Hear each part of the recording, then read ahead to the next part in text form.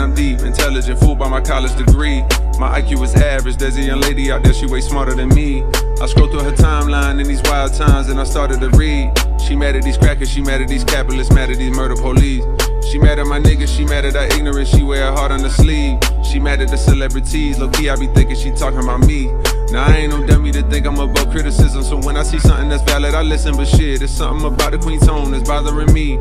She strike me as somebody blessed enough to grow up in conscious environment with parents that know about the struggle for liberation, and in turn they provide her with a perspective and awareness of the system and a fairness that afflicts them, and the clearest understanding of what we gotta do to get free, and the frustration that fills the words. She's to come from the fact that most people don't see. Just cause you woke and I'm not, that shit ain't no reason to talk like you better than me. How you gonna leave when you attacking the very same niggas that really do need the shit that you saying? Instead of conveying you holier, come help us get her to speed. Shit, it's a until like 200 years for our ancestors just to get free. These shackles be locking the mental way more than the physical. I look at freedom like trees, can't grow for us like overnight. Hit the ghetto and slowly start planting your seeds. Fuck is the point of you preaching your message to those that already believe what you believe? Almost some fucking retweet. Most people is sheep. You got all the answers, but how you gon' reach? If I can make one more suggestion respectfully, I would say it's more effective to treat people like children. Understanding the time and love and patience that's needed to grow. This change is inevitable, but ain't none of us seen this before.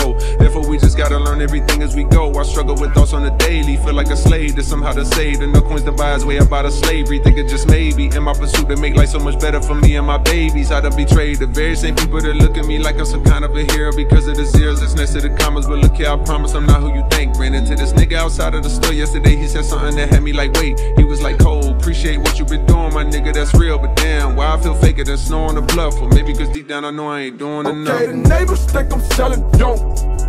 Selling dope. Selling dope. Selling dope.